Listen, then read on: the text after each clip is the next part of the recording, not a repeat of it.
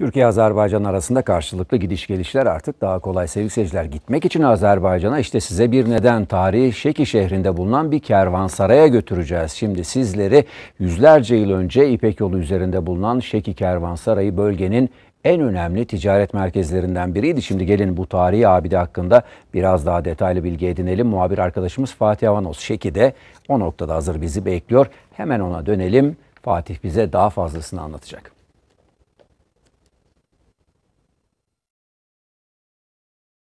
Azerbaycan'ın kuzeyinde tarihi Şeki kentindeyiz. Şeki gerçekten bir açık hava müzesi gibi 84'ün üzerinde tarihi abidenin yapının ev sahipliği yaptığı bir şehir. Kadim bir şehir. Azerbaycanlıların da gerçekten geldiği, ilk fırsatta gezdiği en önemli noktalardan biri. Yerli ve yabancı çok turist çekiyor ve biz Şeki'de tarihi bir kervansarayın hemen avlusundayız. 6000 metrekarelik bir alanda 240'ın üzerinde odaya sahip gerçekten yaşayan bir tarih müzesi diyebiliriz. Çok güzel bir noktadayız ve burada Sayın Şahin Hüseyinov da bizlerle birlikte kervansaray hakkında bilgi alacağız. Meskenin müdürü kendisi. Buradaki işletmenin de müdürü aynı zamanda. Bölgeyi de çok iyi biliyor.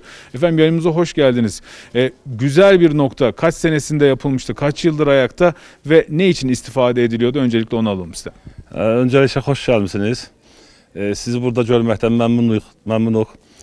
Bu gördüyünüz yapı, bu Karvansaray, qədim Karvansaray 18-ci əsrin əvvəllərində tikilmiş.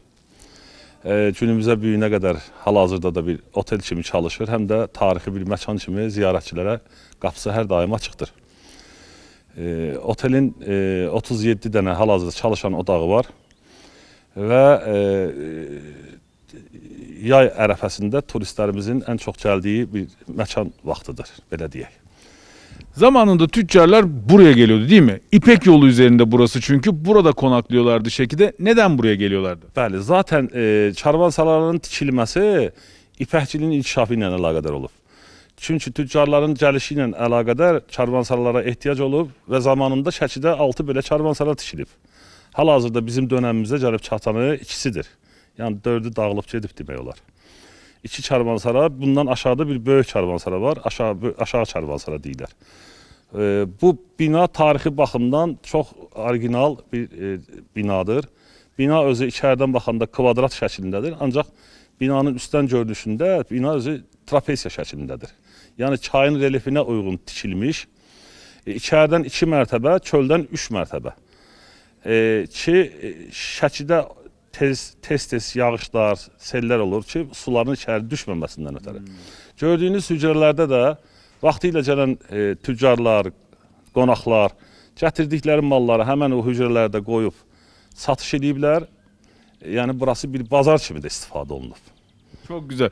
Hemen odaların önünde alt katta bir yer görüyorum. İşte oraya mahsullerini koyuyorlardı diyorsunuz. Soğuk e, hava deposu gibi. Kendileri hemen odada, o noktada kalıyorlardı. İşte bu odalarda e, tüccarlar kalıyorlardı. Önlerinde mahsulleri ve sabah olduktan sonra da mahsullerini o oradan çıkarıyorlardı.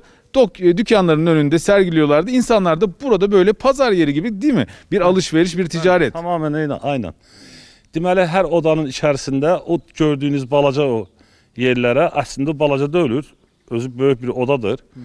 Həmin odaya e, pilləkənlə düşüş yeri var. Bizdə xəfəng deyirlər. Xəfənci qaldırıblar. Mallarını yığıblar, xəfənci ötüblər, üstündə qalıblar. Səhər oradan açıb mallarını çıxardıblar hücrələrə, satışını ediblər.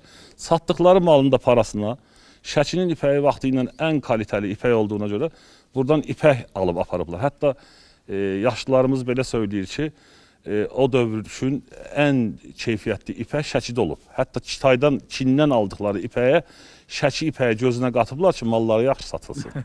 Yani kendileri dünyanın birçok yerinden kendi ürünlerini getirip karşılığında Şeki'den ipeği alıp götürüyorlardı. Burada da o ticaretin merkeziydi.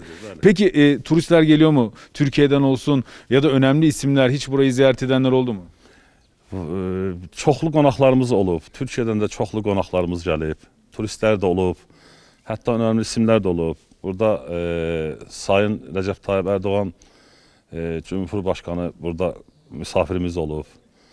E, çox değerli qonaqlarımız olub burada. Çok güzel. İlgi alaka da çok güzel. Türkiye'deki artık vatandaşları da buraya davet ediyoruz. Şahin Bey e, bu kervansarayı Şeki'yi aslında hususiyle görmesi için çok sağ olun verdiğiniz bilgiler için. Siz də sağ olun, gözümüz üstə yerləri var. Nə vaxt gəlsələr qapımız hər daim açıqdır. Buyurun. Sağ olun, teşekkür ederiz. Evet 18. yüzyılda yapıldı demiştik.